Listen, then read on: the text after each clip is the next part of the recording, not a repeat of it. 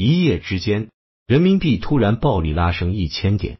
在这场中美耐力赛中，美国终于扛不住了，人民币对美元汇率狂飙猛进，涨至七点一六比一。可仅两周前，人民币对美元汇率还在下跌通道，一度跌破七点三。一边是人民币不断降息，而美元持续加息，这就形成了一个巨大的利息差。很多中国资产都向美国转移，宁愿去美国吃利息，实在去不了美国的，也涌入了香港。通过金融中介公司购买美元理财，年利率可以突破百分之八，这就为强势美元形成了一种虹吸效应。可这种虹吸效应不是没有代价的，它的代价就是美国的金融成本被不断推高。美国国债利率接近百分之五，银行理财收益率冲上百分之八，美股也是一路狂飙猛进，市值持续创造新高。可这种金融繁荣是以实体经济为代价的，利率越高，对实体经济的吸血越猛。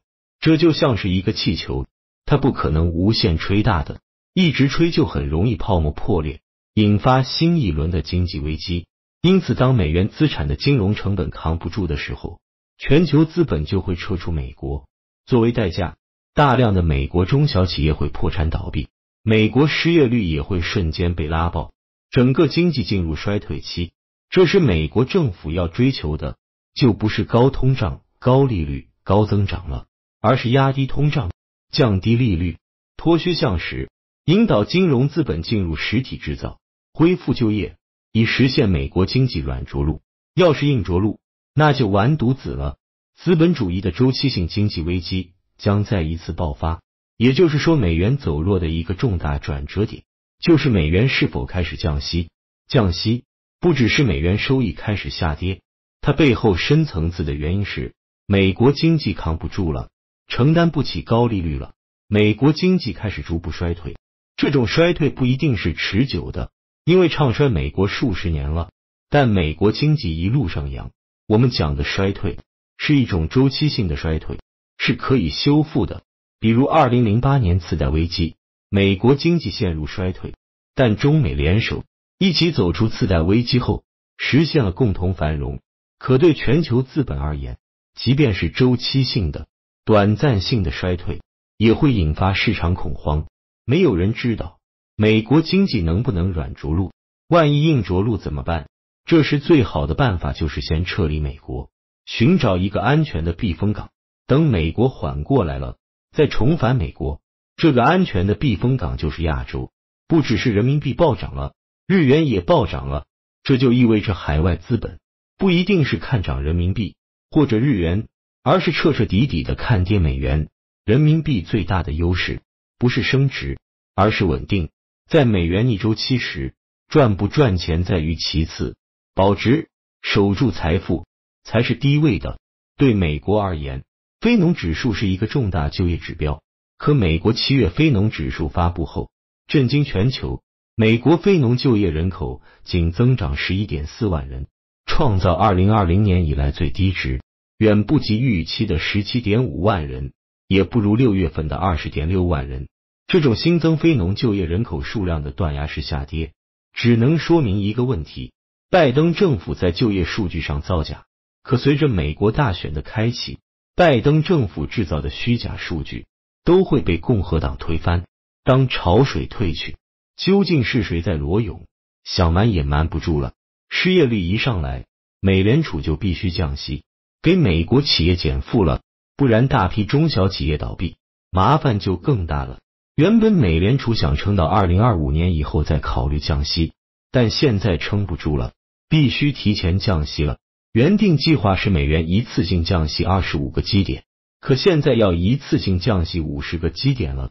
根据花旗银行预测，美联储会在今年的九月、十一月分别降息五十个基点。进入十二月，美联储还将降息二十五个基点。也就是说，美联储今年下半年累计降息最高可能达到一百二十五个基点，这是一个确定性的降息预期。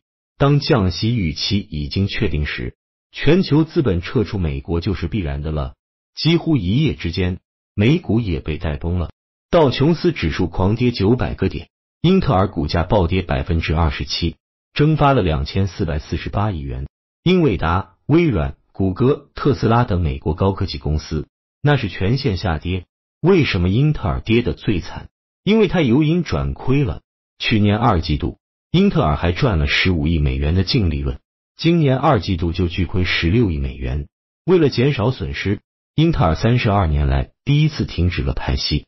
黄金、原油也都有涨转跌。人民币正在进入新一轮的升值通道，这不是一次性的，而是一个持续的过程。在我看来，若是美元降息力度足够大，今年底人民币对美元汇率就有望重返六的时代，那么是终于要熬出头了。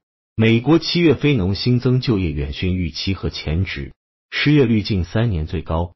于是周五晚上，大家又看到了瀑布，道指盘中最深跌约九百九十点。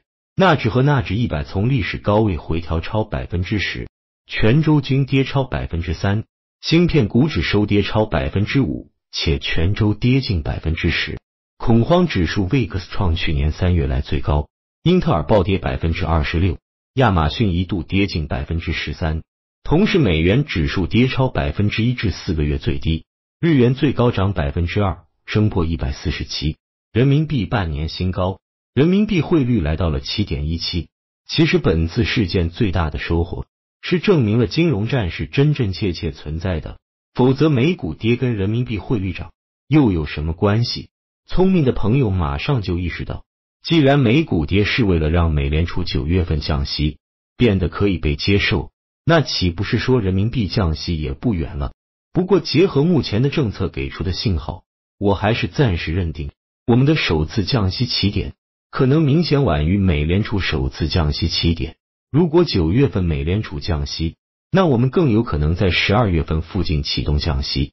因此，真正对我们重要的已经不是央妈是否降息，而是能否快速且具有暴力属性的降息，俗称推背感。按照海外的很多大咖的研究，兔子之所以一直没有降息，也没有发钱等方式，就是有几个原因。首先，如果像美国那样直接发钱，有可能引发暴力通胀，那就是中低收入家庭倒大霉了。毕竟美国人的通胀可以转嫁出去，人民币不是储备货币，根本没法转嫁出去。也就是说，如果简单粗暴的直接发钱给老百姓，国内的通胀严重程度可能远超美国那头，那么超过百分之十的通胀压力或许就会变成现实。其次，也想趁着金融战的外部压力，正好调整一下地产的高周转。高负债模式，不过截至目前，这个调整并不到位，因为模式没有改变，只是死了更多的开发商而已。再次固本培元，就是通过拉升新质生产力，努力提高大家未来的收入，来部分替代地产的价值。